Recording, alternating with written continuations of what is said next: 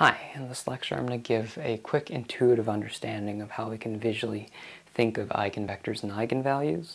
I won't really be going in depth in the computation of these just because I assume that this is all review and that would kind of require an in-depth understanding of earlier concepts which I didn't provide in these lectures uh, just because it's all meant to be review and also that we don't really need to have a super in-depth understanding of how to hand compute eigenvectors and eigenvalues and this is just kind of meant for a main segue into understanding eigendecomposition, which will be in the next lecture. Okay, so let's give kind of a visual understanding of what these terms mean. So say we have some Cartesian plane. Great. So say if we have some vectors, v1, and another vector that's orthogonal to it, v2. Alright, so remember in one of our past lectures we talked about how we can think of matrix vector multiplication, so some ax equals x prime as a linear transformation. So instead of thinking of this ax as some function a that takes in some vector x and kind of places this vector x somewhere else uh, in the Cartesian plane, so some x prime, so kind of moving the vectors x to x prime. At the end of that lecture, I kind of gave an intuition as a good way to understand a linear transformation is as a transformation of the entire space. So basically thinking of every possible point x in this Cartesian plane getting fed into this function, which just multiplies it by a, and getting replaced to some other place in the board, x prime. So you can imagine if we took this plane and we took every possible point in this plane and transformed it by some matrix A, every single one of these points would move in some direction dictated by the matrix. This matrix kind of encodes that transformation. So you imagine all these points going somewhere, uh, basically where the matrix tells them to. So each of these little points, you feed it into this AX and it gets transformed somewhere else. So you can almost think of it as the entire grid lines of your Cartesian plane getting shifted um, as a result of this matrix transformation. But say that the vectors v1 and v2 and every other vector along this line, every other vector that's collinear with these vectors, after undergoing this transformation, you're going to kind of imagine all these points moving somewhere. But imagine that every point along these lines, so every point uh, collinear with v1 and v2, don't change direction. So you can think of every one of these little vectors kind of changing uh, the direction of their head going somewhere, but you can think of these vectors along this line just simply stretching or squishing along this line. So simply put, every other vector except for the ones along v1 and v2 are changing directions, but everything along here just stays along this, uh, these lines there. Simply put, v1 and v2 are the eigenvectors of A. If A encodes the transformation and v1 and v2 still stay along these lines, that means they're the eigenvectors. But these eigenvectors can scale up and down, so v1 can actually extend to v uh, to become up to, you know, v1 might extend to be this length after undergoing the transformation a, but it still stands on this line. But the but the um, the scaling number, the number that scales this v1 to this new place after undergoing the transformation is the eigenvalue. So the eigenvalue of this vector is how much this stretches or squeezes after undergoing the transformation. Same thing here, this might have some lambda 2 uh, that stretches and squeezes this vector after the, um, after the transformation. But other than that, every other point moves directions. So the formula makes a lot more sense after understanding this visual kind of understanding.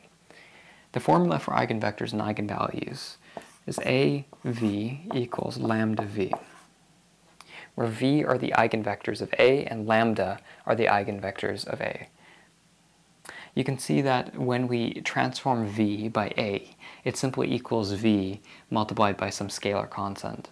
Uh, so you can kind of think of it as v doesn't change directions, um, because it's still, you know, after undergoing that transformation, it's still going heading in that same direction of v, just scaled by some constant. So that's the formula that ties everything together. The definition of both eigenvectors and eigenvalues is stored in that formula. But that's how you think of them kind of um, intuitively, I guess. Some other things to uh, remember is that sometimes uh, eigenvectors aren't, eigenvalues and eigenvectors aren't really that pretty. Sometimes you might get eigenvalues that are not real numbers.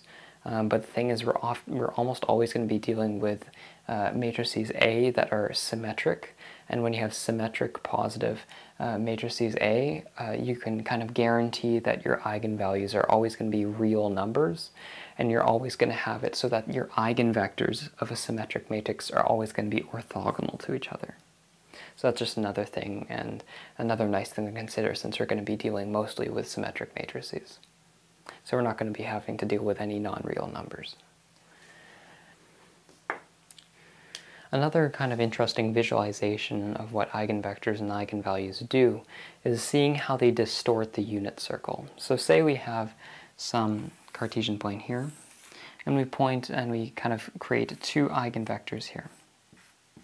A popular thing to do with eigenvectors is to, as we mentioned in the, in the lecture where we first introduced unit vectors, is to make them so that they have unit length, that they have a norm of 1. And you can do that because anything along the direction of the eigenvector is still an eigenvector. So you can simply just um, scale down that eigenvector to make it have a length of 1. So say we have um, we've modified these to become unit eigenvectors, each with a norm of 1 and both of these have a norm of 1, and these are um, perpendicular to each other because we have the eigenvectors of a symmetric matrix. So say we have all those conditions met, so we just have some two unit uh, eigenvectors uh, pointing like this and this in the Cartesian plane. So say if we kind of uh, use, a, uh, you know, we kind of draw a unit circle that goes around these.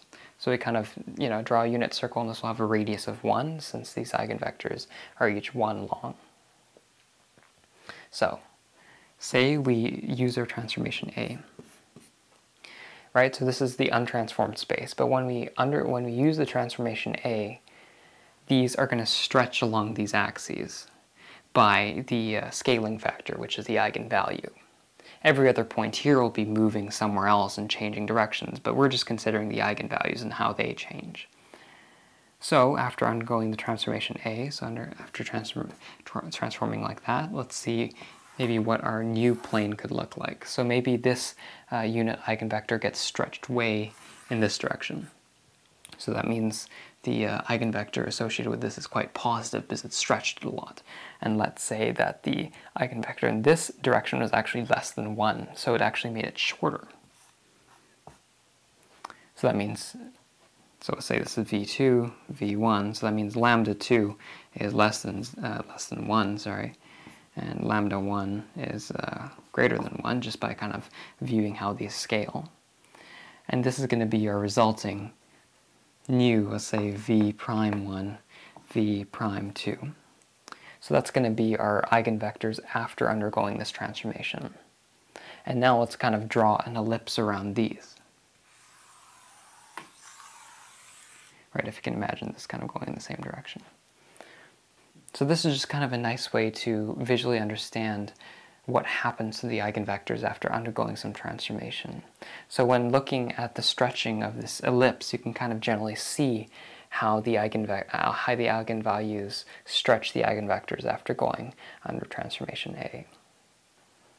So that's just a nice way to visually understand what eigenvalues and eigenvectors do.